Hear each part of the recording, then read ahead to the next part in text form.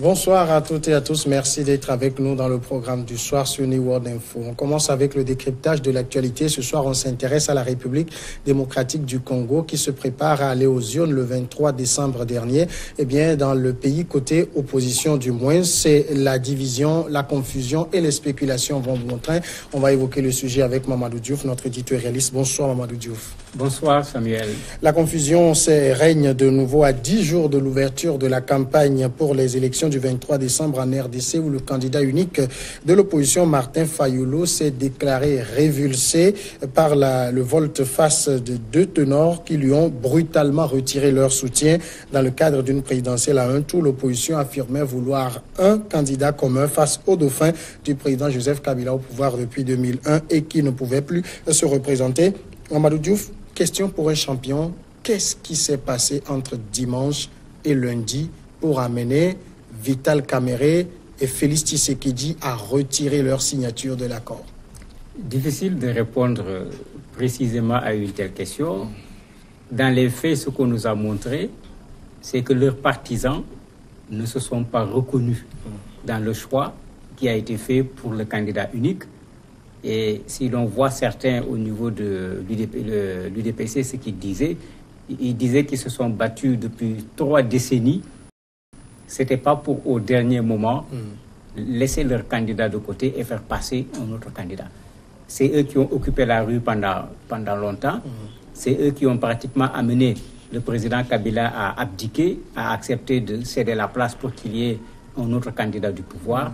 Mm. Donc pour eux, légitimement, c'est eux qui devaient y aller. Mais ce n'est pas ce que tout le monde dit, parce qu'il y a un quotidien, le potentiel, qui parle d'une main noire, qui, pose la question en, en estimant que c'est même les services secrets qui ont suscité ces manifestations pour embrouiller ceux qui avaient signé, les amener à reculer, ce qui, en dernier ressort, va faire l'affaire du, pouvoir en créant une dispersion au niveau de, l'opposition. Qu'est-ce qui est vrai dedans, qu'est-ce qui n'est pas vrai? Ça va être très difficile à dire puisque, à mon avis, ils ont choisi la mauvaise méthode pour choisir le candidat unique de l'opposition et ils en payent les frais parce que ce n'est pas parce que c'est des responsables de parti qu'ils peuvent aller ensemble se cacher quelque part, prendre une décision. Il fallait savoir est-ce que les bases seraient disposées à accepter la décision ou pas, parce qu'en dernier ressort, c'est cette base-là qui va voter et c'est ce vote-là qui est déterminant. Est-ce que cet argument de base n'est pas aussi un faux fuyant? Ça peut l'être, puisque quand on veut sortir, comme on le fait généralement, il vaut mieux dire que les fautes qui sont sur la lettre, c'est la secrétaire. Mhm. Bien qu'on l'a lu avant de, signer. Mhm. Pour, moi, c'est la même chose, mais ça, ça, pose également un problème de fond qu'il ne faut pas occulter. Dans un bon parti politique, ce n'est pas le responsable du parti politique qui décide. Mhm. Ça également, il faudra qu'on l'occulte. Parce que autant il faut réclamer la démocratie ailleurs, autant il faut que la démocratie règne à l'intérieur de chaque parti politique. Si on le regarde sous l'angle de la démocratie à l'intérieur des partis politiques, mais c'est une très bonne chose.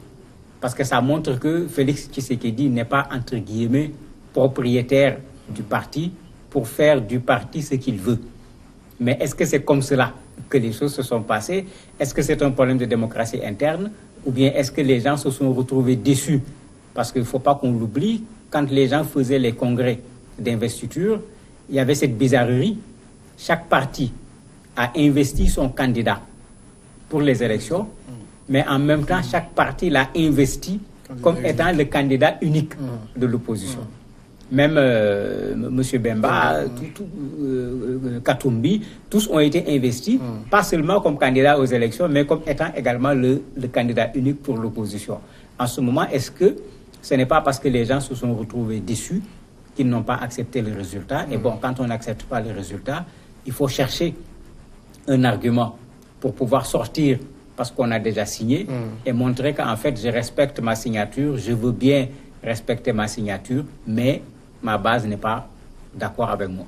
De toute façon, la base savait que le leader allait à Genève pour discuter du candidat commun et aurait dû envisager l'hypothèse que ça ne soit pas le président. pour, moi, c'est ça, c'est ça la, mauvaise méthode. Il ne pouvait pas. Déjà, il faut dire que ce n'est pas le candidat même de l'opposition. Parce qu'on est en train de dire tout le temps le candidat de l'opposition. Il y a 21 candidats. Ici, c'est un groupe, cette personne qui veulent trouver un candidat commun. Donc il y a d'autres candidats. Qu'ils trouvent un candidat commun ou pas, il n'y aura pas un seul candidat de l'opposition. Il y a d'autres qui sont candidats au niveau de ces élections de, décembre. Pour moi, c'est la méthode qui n'a pas été la bonne. À mon avis, la meilleure méthode, ça aurait été d'organiser ce qu'on appelle des primaires, mais d'en faire des primaires générales. Pas organiser des primaires à l'intérieur de chaque parti, ça n'aura pas de sens. Mhm. Mais des primaires où les personnes que l'on voudrait voir devant, on les met devant les populations, les militants de leur parti, tout comme les militants des autres partis, voire même les citoyens ordinaires qui veulent une alternance, qu'on donne à toutes ces personnes la possibilité de voter, mhm. ça permet de dire voilà la personne qui est statistiquement la mieux placée pour gagner aux prochaines élections. Et là, ça aurait permis de ne plus pouvoir dire ma base, parce que ce n'est plus la base de quelqu'un. On a cherché une base électorale au-delà des partis politiques. Mais la méthode qu'on a utilisée, moi je me pose même la question, qu'est-ce que une fondation Kofi Annan vient faire hmm. dans la recherche d'un candidat unique de l'opposition au niveau de la RDC Qu'est-ce qu'ils sont venus faire là-bas? C'est un des problèmes. Ils devaient pouvoir s'entendre, arriver à un consensus, parce que c'est l'idéal dans ce genre de situation. Mais quand on vote, tout le monde n'a pas compris que dans un vote, euh, la majorité l'emporte mm. et la minorité doit, doit suivre. Il y a des gens, quand on ne vote pas pour eux, ils remettent en cause le, vote. et c'est là où, effectivement, l'acte de Vital Caméré et de Félix Tshisekedi dérange sur le plan moral parce qu'ils connaissaient le mécanisme. Mm. Ils savaient où ils allaient. Maintenant, attendre d'arriver à destination pour dire que ce n'est pas ici que je voulais venir, il va être difficile de l'expliquer aux populations. Alors, si c'est peut-être compréhensible pour euh, Félix Tshisekedi, qui, on le sait, n'a pas véritablement une grande envergure à l'image de celle de son père, pour Vital Caméré, c'est plus surprenant. Oui, c'est plus surprenant parce que quand même, ce n'est pas, j'allais dire, c'est une véritable bête politique. Mm. C'est quelqu'un qui savait très bien dans quoi il allait. Mais ce qu'il faut dire également, c'est que la, la politique, c'est pas un jeu d'enfant. Oui. Ça, je crois il faut qu'on le rappelle aux gens parce que parfois les gens regardent la chose comme si la politique c'est quelque chose de linéaire. On est là, on s'assoit, on met les pions, on calcule, on déduit. La politique n'a jamais fonctionné de la mm. sorte. Mm. Et en fait, ce qui s'est passé à, RDC n'a fait que nous rappeler une telle chose. La politique n'a jamais été linéaire. Mm. Il était parti certainement en se disant, il peut avoir ses chances.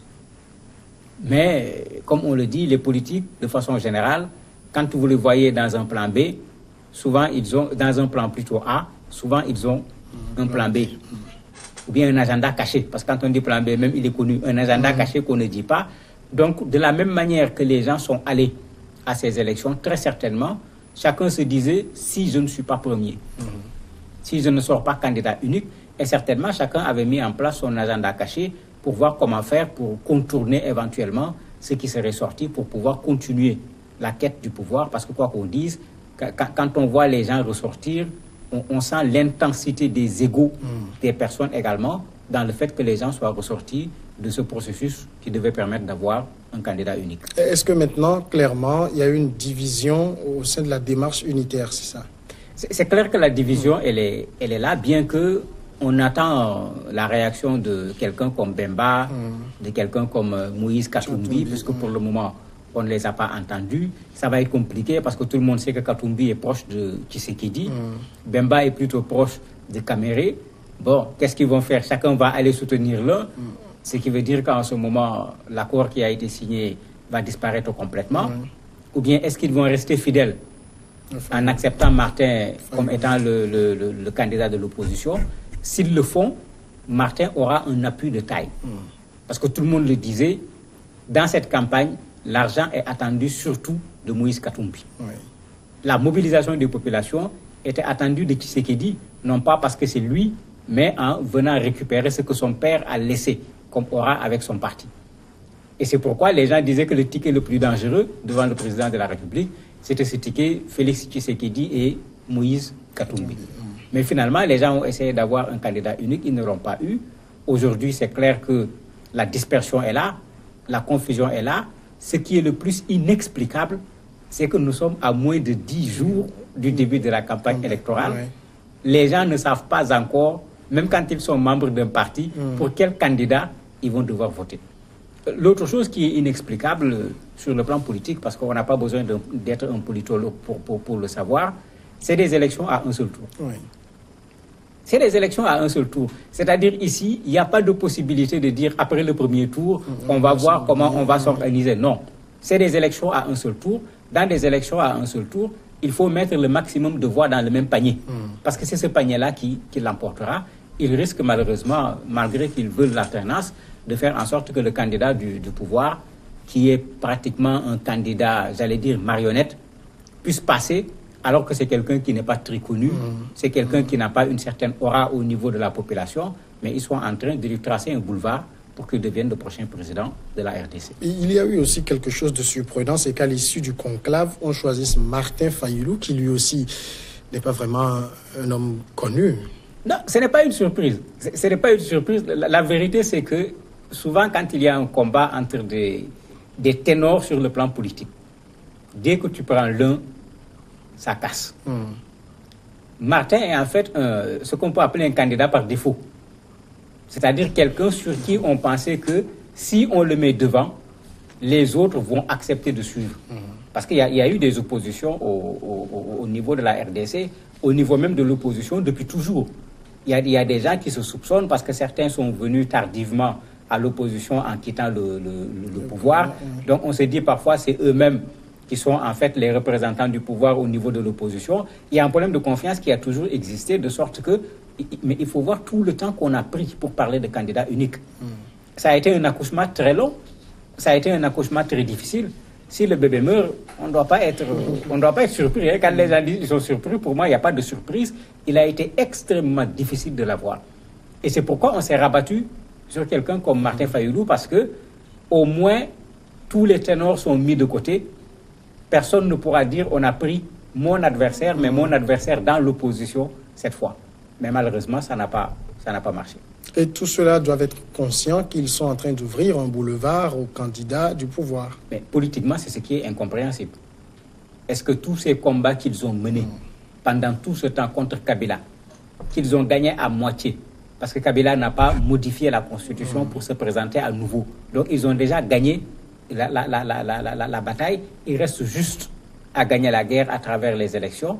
S'ils partent aux élections en rang dispersé, je me dis que même leurs propres électeurs, qui peut-être ne comprennent pas encore ce qui se passe, après les élections, quand ils verront les résultats, leurs propres électeurs vont se retourner contre eux en leur disant que c'est vous qui nous avez amenés dans cela. Mamadou Diouf, merci d'avoir répondu aux questions. C'est moi qui vous remercie. Nous allons maintenant marquer une courte pause pour recevoir l'invité de ce jour.